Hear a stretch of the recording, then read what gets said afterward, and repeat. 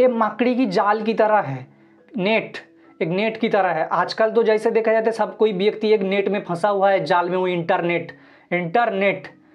सब कोई Facebook Instagram YouTube बहुत सारे जगह में कहीं ना कहीं तो स्नैपचैट व्हाट्सएप सब जगह फंसा हुआ है। और आज के समाज में देखा जाए तो इंटरनेट पे जो वेबसाइट जितना भी है 98 परसेंट वो सारे पोर्नोग्राफी से भरा हुआ है। आजकल के आप मूवीज़ देखेंगे, जितने भी वेब सीरीज़ जो भी है, जितने भी ओ टी टी प्लेटफॉर्म में जो भी आता है सॉन्ग्स म्यूज़िक वीडियो जो भी है, उसमें सॉफ्ट प्रॉन दिखाया जा रहा है आपको। और हालाँकि Instagram social media Facebook YouTube ये सब सारे में भी आ गए, दिखने लगेगा आपको।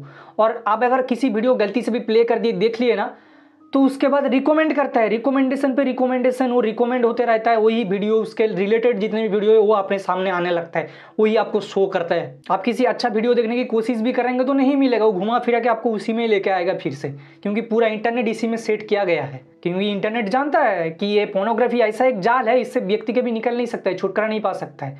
तो इसमें उसको आना ही है। तो नाइन्टी परसेंट जो है तो ये सब सारी चीज़ों से भरा हुआ है। जो फ़ोन देख रहा हुआ होता है, उसको लगता है वो बहुत सेफ़ है, बहुत सेफ़ फील कर रहा है। मेंटल रिलीफ मिलता है उसको। पीसफुल होता है बहुत ज़्यादा देख के। ब्लू फ़िल्म देखने के बाद उसको लगता है बहुत अच्छा फील करता है वो, लेकिन उसको बाद में बहुत सफ़र करना पड़ता है। बहुत सफरिंग आएगा उसका ज़िंदगी में। और ये सब सारी चीज़ देखने वाले खुद को रोक नहीं पाते।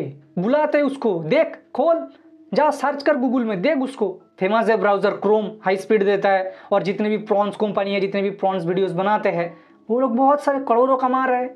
करोड़ करोड़ कमा रहा है और इंडिया जो है उसमें पोर्नोग्राफी देखने में तीसरे नंबर पे आ रहा है। मुबारक हो, कितने तरक्की कर लिए है। क्योंकि पोर्नोग्राफी वीडियोस बनाने मेकर्स को पता है कि ऐसा एक एडिक्शन इसको छोड़ना बहुत ज़्यादा मुश्किल है और ऐसा नहीं कि टीनेजर्स बच्चे चिल्ड्रन बूढ़े ओल्ड मैन सब कोई यंग जनरेशन यूथ हर कोई देखते जब बचपन से ही मोबाइल पकड़ा दिया जाएँगे टैब ये सब पकड़े दिए जाएँगे उनके हाथ में तो क्या संस्कार क्या आएँगे उनके अंदर में? हैबिट्स क्या आएँगे उनके अंदर? जो देख रहे, जो सीख रहे, वही तो अपनाएँगे ना अपनी ज़िंदगी में हैबिट्स आदतें। एक बच्चा जब भारत में इंडिया में पैदा होता है तो बाई नेचुरल कौन सा लैंग्वेज में बात करेगा? हिंदी में। एक बच्चा जब अमेरिका में पैदा होता है तो बाई नेचुरल कौन सा लैंग्वेज में बात करेगा? कौन सा भाषा में बात करेगा? इंग्लिश में। लेकिन वही अमेरिका बच्चे को अगर इंडिया में लेके आ जाओ, जन्म होने के बाद ही तो आके क्या बात करेगा बचपन से? हिंदी बात करेगा।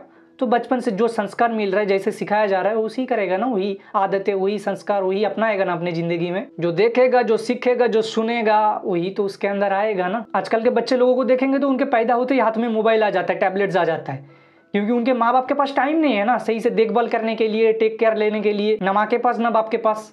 इसीलिए बचपन से ही मोबाइल पकड़ा दिए, देख रहे हैं सब कुछ। और वो बच्चे अपने मोबाइल से वो टैब से क्या सीखेंगे? उनको क्या संस्कार मिलेगा उसमें से? पूरे दिन घुसा हुआ है इस मोबाइल में। और जो चिल्ड्रन होते हैं, बच्चे होते हैं, वो तेज़ी से पकड़ते हैं सब कुछ। आसानी से अपने अंदर ले लेता है। उन लोगों को अच्छे से समझ में आ जाता है क्या रिलेशन सब कुछ वो लोग पता कर लेते हैं। जय श्री कृष्ण। धन्यवाद। Thank you very much